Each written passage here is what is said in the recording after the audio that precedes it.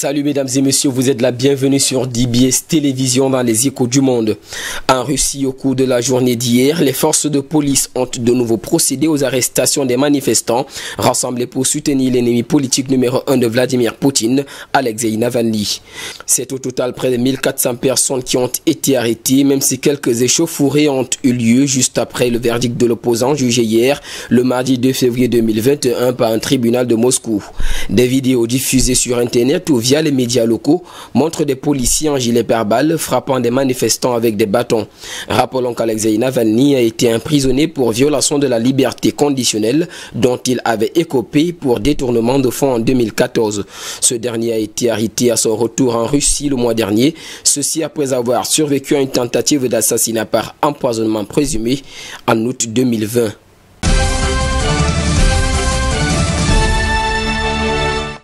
Toujours en Russie, le principal opposant du Kremlin, le russe Alexei Navalny, écope à l'issue d'une audience tenue hier le mardi 2 février 2021 de trois ans et demi d'emprisonnement. Cette décision fait suite à un appel à manifester de ses partisans dont plus d'un millier ont été arrêtés dans la même soirée hier par la police. Selon la juge Natalia Rebnikova, le détracteur du Kremlin devra purger sa peine prononcée en 2014, moins le mois qu'il avait passé à signer à résidence cette année-là.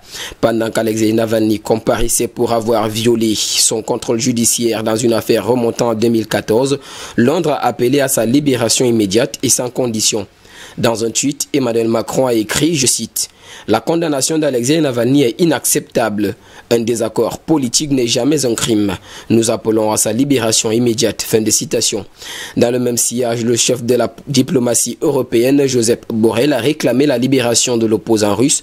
Selon lui, la condamnation d'Alexei Navalny va à l'encontre des engagements internationaux de la Russie en matière d'état de droit et de liberté fondamentale.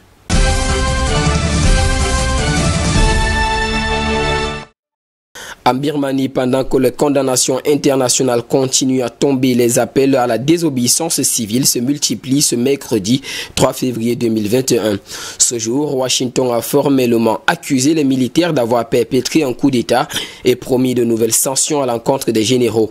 Un groupe nommé le Mouvement des désobéissances civiles a été lancé sur Facebook et comptait déjà ce mercredi près de 150 000 abonnés.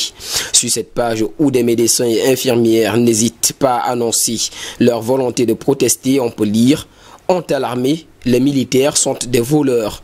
Alors que l'armée conteste les législatives de novembre 2020, remportées massivement par la Ligue nationale pour la démocratie, les professionnels de santé ont mentionné dans une déclaration commune Nous obéirons uniquement à notre gouvernement élu démocratiquement.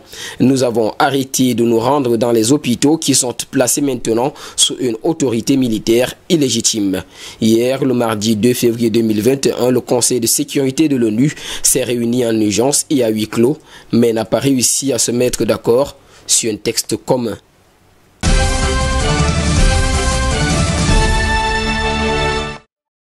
Au Pakistan, dans le cadre de lutte contre la propagation du Covid-19 et notamment le nouveau variant, le personnel médical pakistanais a commencé ce mercredi 3 février 2021 à s'administrer le vaccin chinois Sinopharm.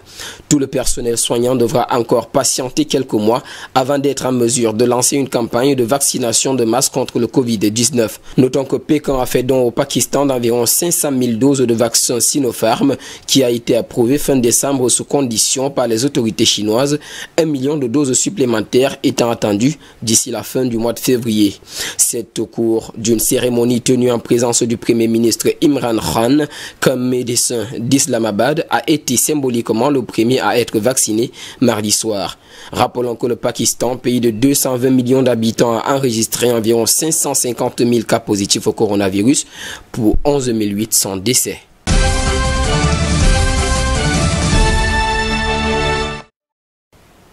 Et puis au sujet du Mexique, le pays a réclamé à la France la restitution d'une trentaine de pièces relevant de culture préhispanique et devant être mises aux enchères lors d'une vente de Christie's prévue le 9 février prochain à Paris.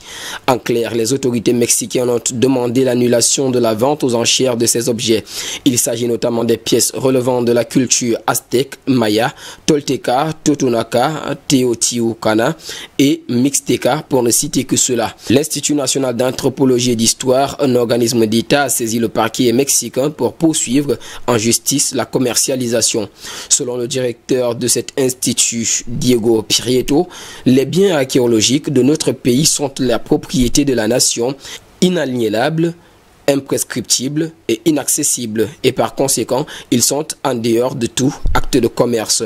Depuis plusieurs années, le Mexique a entrepris de récupérer le patrimoine historique trouvé dans des collections privées du monde entier. En 2019 déjà, le pays a demandé en vain l'annulation d'une vente aux enchères d'art précolombien organisée par la maison française Mion.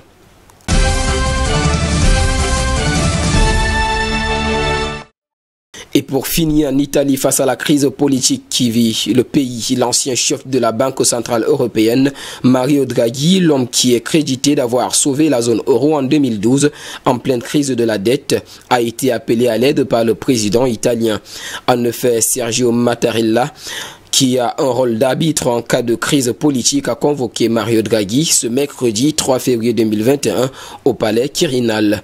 À la veille, le président a avoué qu'il souhaite voir se former un gouvernement de haut niveau à même d'affronter les graves crises actuelles, dont celles sanitaires, sociales et économiques.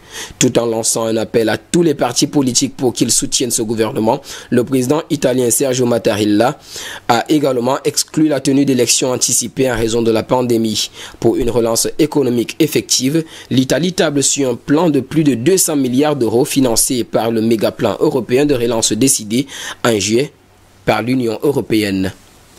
Monsieur et dames, c'est sur cette note d'actualité que nous mettrons terme à cette autre édition des Échos du Monde sur DBS Télévision.